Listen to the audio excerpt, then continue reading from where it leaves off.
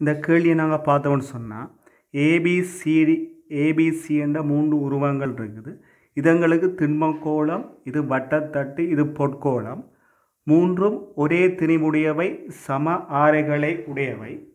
இவை மூன்றும் ஒரே கோணவேகத்தை அடைவதற்கு வழங்க வேண்டிய சுழற்சி இயக்க சக்திக்கான தொடர்பு எங்களுக்கு கேட்கப்பட்டிருக்குது.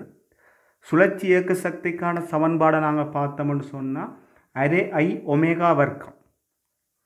இப்போ பார்த்தா இதுண்ட சடத்த திருப்பத்தை எழுதினா எங்களுக்கு இந்த பெருமதி இதுண்ட சடத்த திருப்பம் இப்படி இருக்கும் இதுண்ட சடத்த திருப்பம் அவளுக்கு இப்படி இருக்கு அப்போ சுழற்சியக்க சக்திக்கான சமன்பாடை எழுத முடியும்.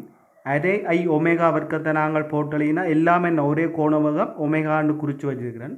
அப்போ எழுதினா கேஏ கேபி கேசி என்று மூன்று பெருமதி எழுதியிருக்கிறேன் இந்த மூன்று பெறுமதிகளையும் பார்த்தா கேசின்ற பெறுமதி கூட அதே விட கேபின்ற பெறுமதி குறைவு அதே விட கேஏ என்ற பெறுமதி குறைவு. அப்போ ஓர்டரை பார்த்தா கேஏ கேபி கேசி என்று வரும். அப்போ பார்த்தா எங்களுக்கு முதலாவது விடை தான் எங்களுக்கு என்ன? சரியான விடையாக வரும்.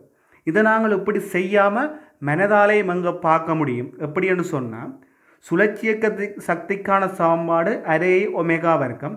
அப்போ சுழற்சி இயக்கத்தில் தங்கியிருக்கிற விடயங்களை நாங்கள் பார்த்தோம்னு சொன்னால் சடத்துவ திருப்பத்தில் தங்கியிருக்கு தங்கியிருக்குது கோண வேகத்தில் தங்கியிருக்கு. மூன்றுண்டையும் கோணவகம் சமன்றபடியாக நாங்கள் அதை விடலாம். அப்போ சடத்துவ சடத்துவ திருப்பத்தில் மட்டும்தான் தங்கியிருக்குன்னு நாங்கள் பார்த்தோம்னு சொன்னால் அப்போ சடத்த திருப்பம் எதற்கு கூடோ அதுக்கு என்ன? அதிகளவான கோண இயக்க சக்தியான சுழற்சி இயக்க சக்தியை வழங்க வேண்டியிருக்கும். அப்படி பார்க்க எதுக்கு சடத்திருப்பம் கூட? அதே மாதிரி எதுக்கு குறைய? அதே மாதிரி எதுக்கு குறைய? அப்போ சுழற்சி இயக்க சக்தி அதாவது பெற்றுக்கொள்வதற்கு நாங்கள் வழங்க வேண்டிய சக்தின்ற ஓடரை பார்த்தா அது சடத்து திருப்பத்தின் ஒழுங்குலான் இருக்கும். அப்படி பார்க்க எங்களுக்கு என்ன? கேஏ கேபி கேசி என்ற ஒழுங்கு தான் வரும். ஏன்னு சொன்னால் இதே விட இதுக்கு சடத்து திருப்பம் கூட?